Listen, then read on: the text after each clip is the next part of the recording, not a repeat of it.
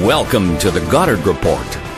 Comments made on the Goddard Report and TalkDigitalNetwork.com are an expression of opinion only. Here is Jim Goddard.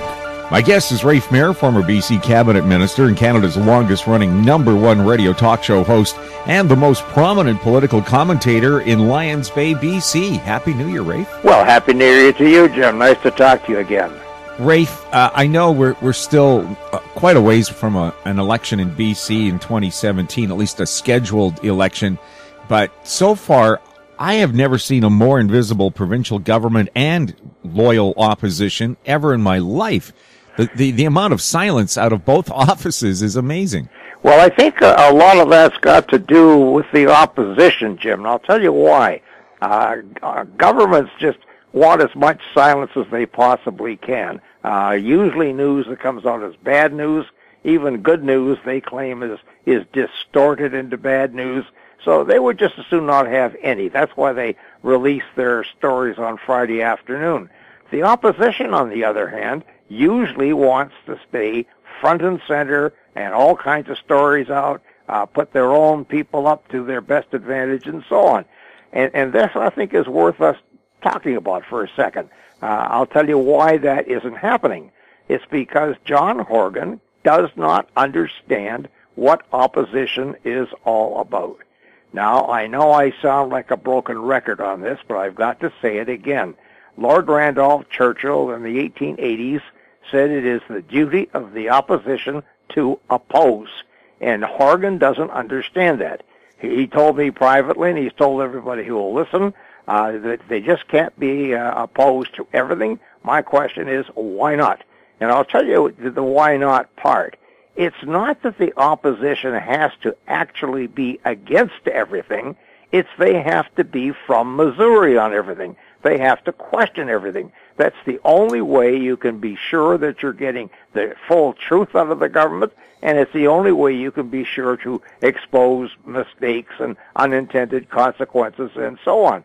And to give you an example, supposing the government were to announce uh, um, uh, half a million dollars, half a billion dollars to go in to modernize all of the schools and, and bring them up to date earthquake-wise and all the rest of it. The opposition might be told by the general public, look, go for, go for that. We're all in favor of that. Well, now I wonder if they would be if they knew all the details. Maybe they would find that most of that money was going into liberal school districts. Maybe they would find the BC Teachers Federation didn't like the way they're going to spend the money. Maybe they'd find the BC school trustees didn't like the way they were going to spend the money.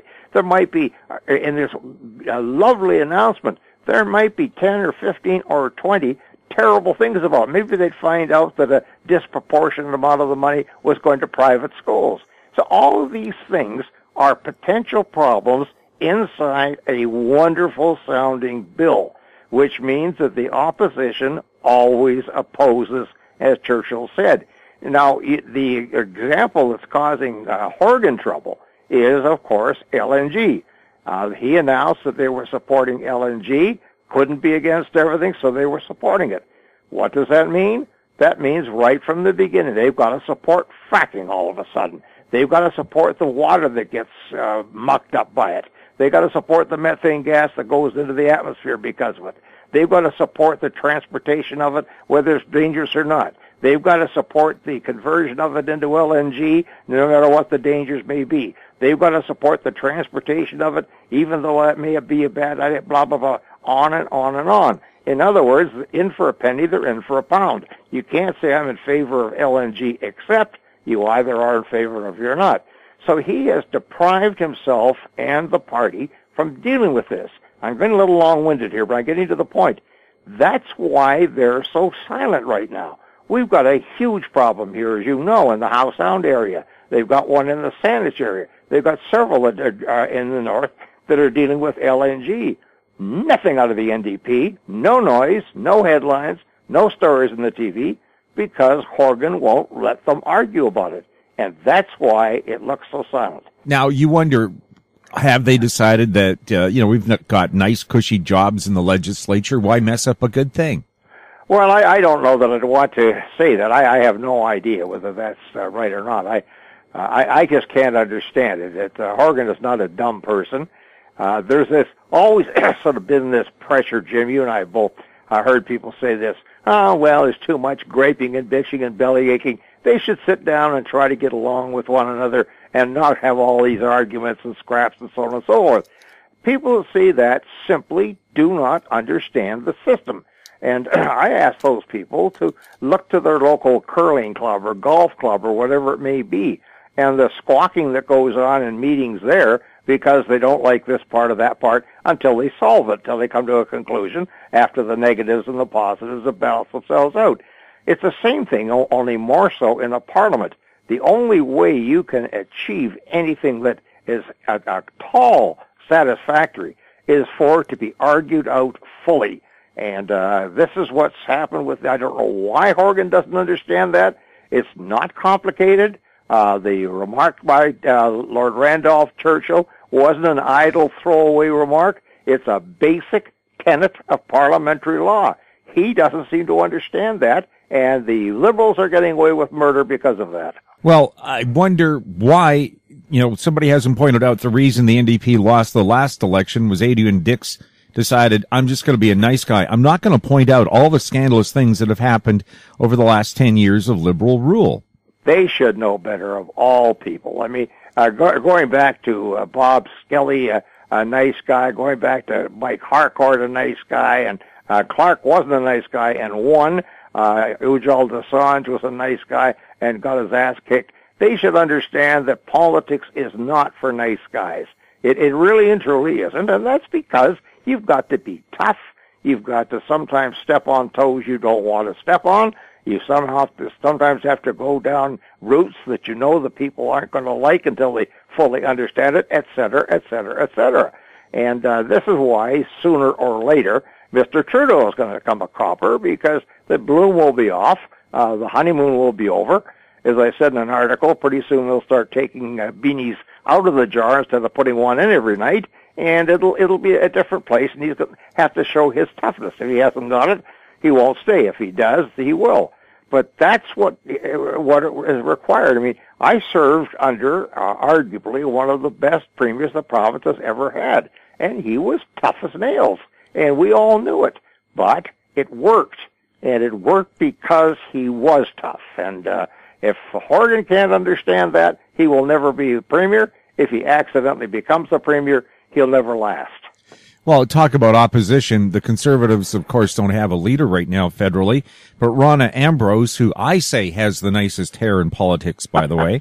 uh, I mean, she didn't hesitate in criticizing Trudeau's actions with immigration or the war on ISIS. I mean, she knew, I mean, he'd already had a honeymoon kind of win, a huge win, but she hasn't you know, rolled over and decided that it doesn't deserve criticism. Well, Rona Ambrose understands the game. Uh, most of the conservatives that I've read about don't really understand the game. I believe, and this is just a guess, Jim, but I believe the conservatives are going to change the rule and allow her to run, even though she's not supposed to run because that's the basis upon which she's the interim leader.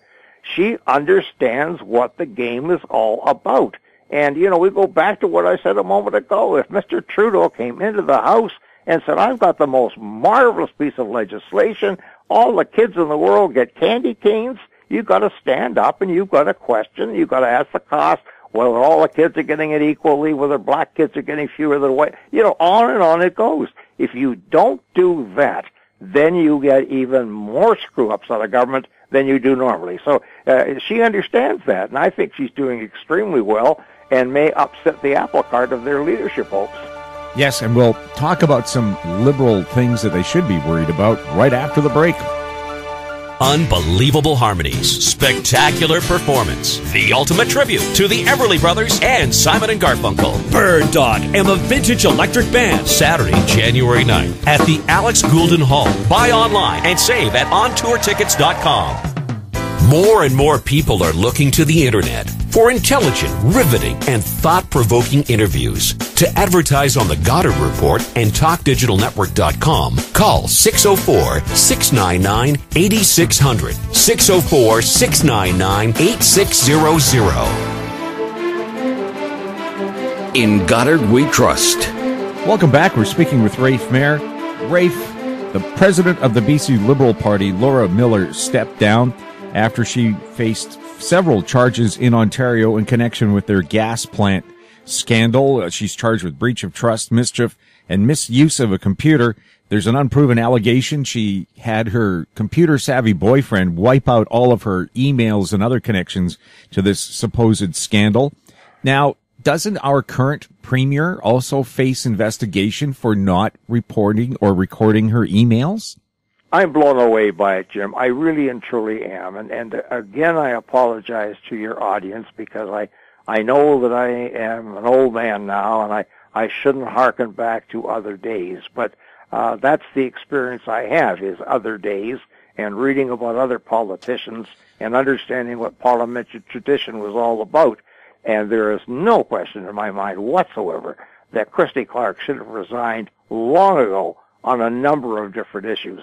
When you read the summary of, of the health department issue and uh, the uh, uh, death of Mr. MacIsaac and so on, and uh, the Observer, as a matter of fact, had an article, it's about six months old, but they had it in on the weekend. When you read the summary, uh, you just gasp. I mean, how on earth can those ministers, how on earth can the premier not resign under the parliamentary traditions that are pretty clear. And uh, you know, I, it's well, I guess now it's a new day, and uh, and people don't resign anymore. But uh, uh, that's sad to say because the the whole purpose of Parliament is that they the cabinet behave honorably. That's not to say well. That's not to say they don't make mistakes. Mistakes are permitted, but they behave honorably. And it isn't as if, it isn't just if they are dishonorable, it's if there is a reasonable uh, accusation or supposition they may have behaved dishonorably, they have to resign until their name is cleared. Now you've got this situation in the health department, and God knows there are lots of others. I'm just picking this one out you've got this situation in the health department where you've got at least three health ministers that are up to their eyeballs in it. You've got the premier up to his eyeballs in it. You've got the attorney general. You've got everybody imaginable in that thing. Nobody's at fault. I mean, it's amazing.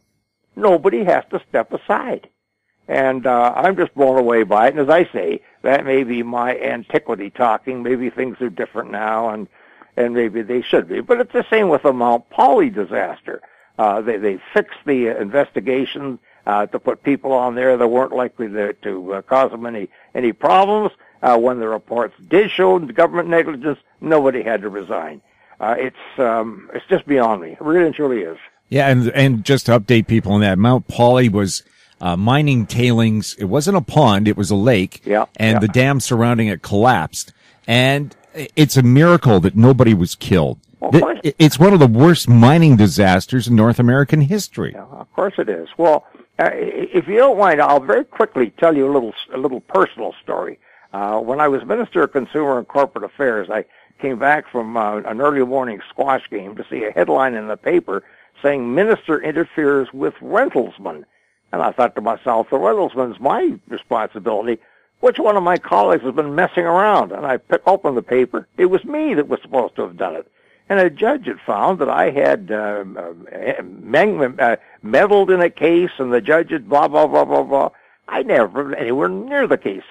I phoned up Premier Bennett, and I said, uh, Premier, there's nothing in this. I didn't do any of this, and, uh, you know, I, I can demonstrate it. And he just said, you've got 48 hours to do it, otherwise you'll have to resign. Well, in 48 hours, it was very quickly cleared up. The judge had made a mistake. He admitted it. He rewrote his judgment, etc. But that was the reaction of the premier. Uh, not there, there, old chap, just ride it out. It was no, you, you, we'll give you a reasonable time to, to clear that. If you can't do it, you're out of here. And, uh, so that's why I have a lot of trouble understanding how all of those people, both public servants as well as politicians, can just skate by this health uh, situation as if nothing had happened. It's, it's just too much. Well, there's also that report about uh, children who have died while in the care oh, of the government, and, and five the fi- last year or seven, something like that. right, and, and, the finding was the biggest problem is that the media has been reporting the child deaths. Oh God! oh well, it, it, I just don't know, uh, Jim. That's uh, you know, I'll I'll, uh, I'll I'll I'll flatter just a little bit here, if I may. Uh, you and uh, Ian Jessop and one or two others are the only people in this province that are actually calling things like they are and that the people can listen to to find out what is truly happening.